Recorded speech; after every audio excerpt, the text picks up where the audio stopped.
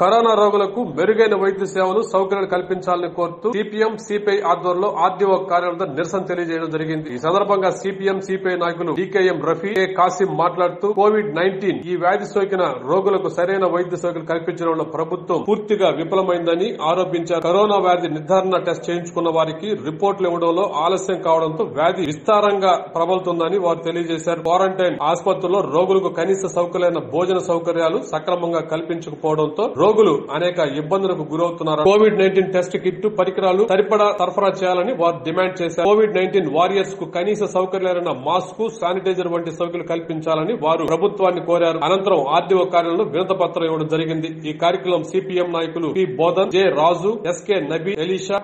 CPI నాయకులు CH Peddanna Rajarao రోజా తదితరులు పాల్గొన్నారు